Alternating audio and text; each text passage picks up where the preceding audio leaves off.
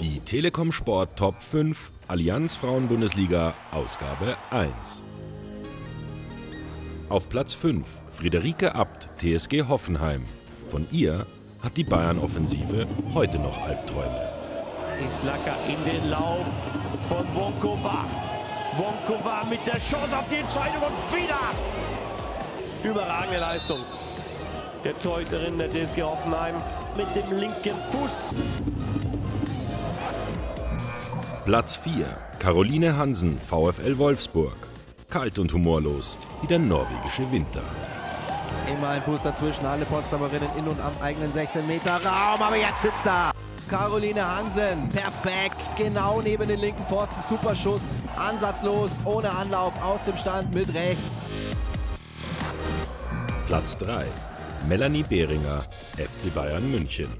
Königin Behringer, Herrscherin über alle Standards der Liga. So, jetzt Behringer beim Freistoß. Schön! Ja, Wahnsinn! Ein super Freistoßtor von Melanie Behringer. Tolle Technik. Einfach genießen. Wow, da passt alles. Der passt genau ins Kreuz. Auf Platz 2 Lara Praschnika, erster FFC Turbine Potsdam.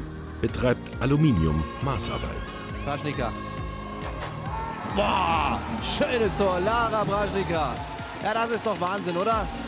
Sofort die Situation erkannt, sofort gesehen, was sie machen kann mit ihrem linken Fuß. Und dann ist das perfekt abgeschlossen. Latte, Pfosten, drin.